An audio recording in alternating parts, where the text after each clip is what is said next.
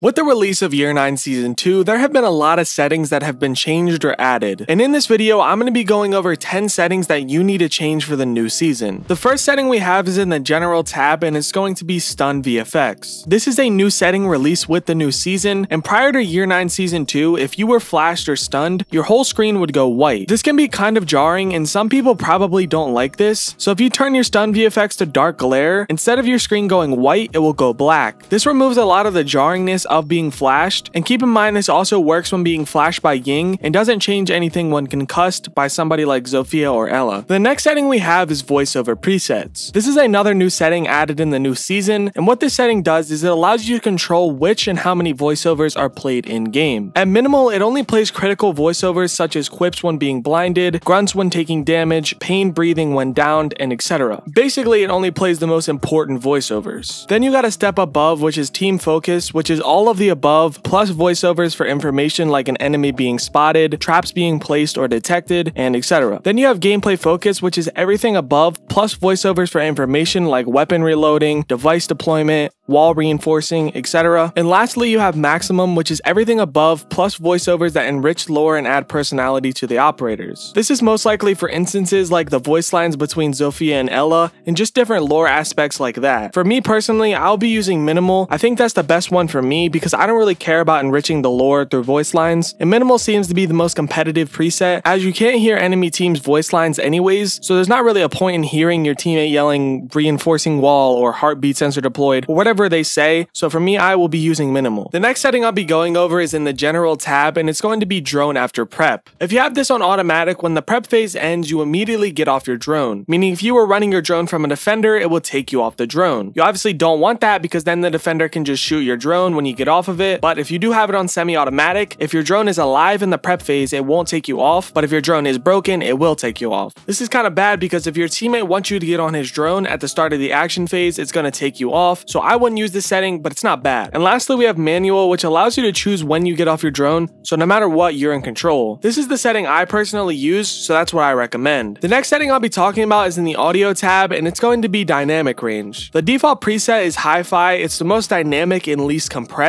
meaning sounds are going to be easier to distinguish, but things like footsteps and gadget placements are going to be quiet, and things like gunshots and explosions are going to be loud, which causes the quiet sounds to be more easily drowned out. But on night mode, the sound is the least dynamic and the most compressed, meaning the loud sounds are quieter and the quiet sounds are louder, meaning you can hear the harder things to hear easier. So now I'm in game, I'm just going to be giving you a few examples so that you can hear the difference between hi-fi and night mode. So right now I'm on hi-fi, and if I just shoot my gun, as you can hear, that's pretty loud. Now if I were to switch it to night mode and shoot, as you can see, it's much quieter. There's a pretty big difference. Hi-Fi is so loud to where it actually kind of hurts my ears when I'm shooting. And now on Hi-Fi, if I throw this impact, I, as you can see, that explosion is very loud. Once again, hurts my ears. But if I switch it to night mode, the explosion is much quieter. And as you can hear, when I'm running around in hi-fi, that's the noise of my uh, own footsteps right there. And then if I switch it to night mode, as you can see, the footsteps are just a little bit louder. So basically, when you put it on night mode,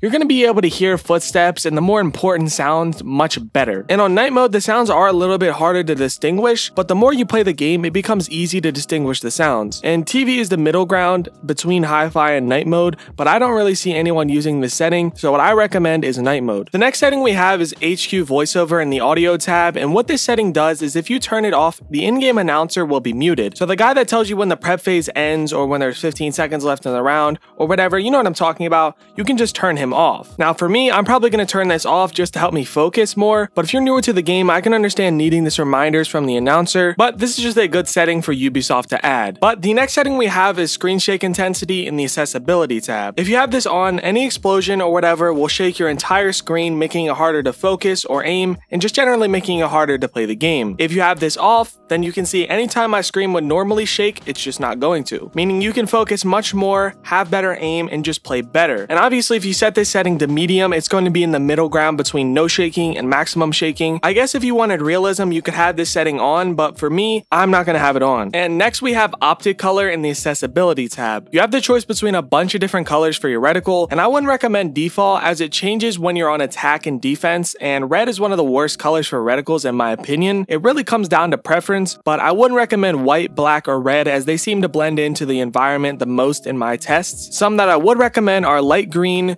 green, yellow, light blue, and light orange as they seem to stick out the best in my tests. You can also lower the opacity of your reticle as even if you have it on 75, you'll still be able to see it, but it won't stick out as much causing it to distract you less subconsciously. But I wouldn't recommend going too low as it could be just harder to see. The next setting we have is team color in the accessibility tab. By default, your team's color will be blue and the enemy team's color will be red. This makes the most sense usually, but you actually gain an advantage if you change the enemy team's color. Like I said, by default, the enemy team color is red, but as you can see, the lasers of this claymore blend in very well with the carpet. But if I were to change the enemy team's color to blue, it sticks out much more. This goes for really any team color oriented gadget in the game, red just blends in a little bit more. So most high level players, including pro players, top ranked champions, have the enemy team color set to either orange or blue, just so things like claymores or Valcam stick out a little bit better. But the next setting we have is going to be in the controls tab and it's going to be drone deployment. On standard, which is default, when you throw out your drone, you immediately get on it, meaning if someone were to hear you on your drone, they can just run out on you and kill you while you're on your drone. But if you set it to advanced, I can throw my drone out and keep my gun up, so if anyone were to run out on me, I can just easily kill them. And then I can just press the button to get on my drone and continue throughout the round. So just super simple, always have your drone deployment on advanced. It doesn't waste any time and you're gonna die a lot less. But the next setting we have is in the controls tab and it's going to be leaning behavior. On default, I can only lean while aiming, but if I change it to alternative, I can now lean from the hip. This is very beneficial when using shotguns or just when generally peeking so you can see much more without your scope blocking anything, but just keep in mind this only applies to console or controller as you can hip lean by default on keyboard and mouse. If you feel you improved from this video or you enjoyed the video, consider liking and subscribing, and if you want to watch more of my content, then click the video popping up on your screen.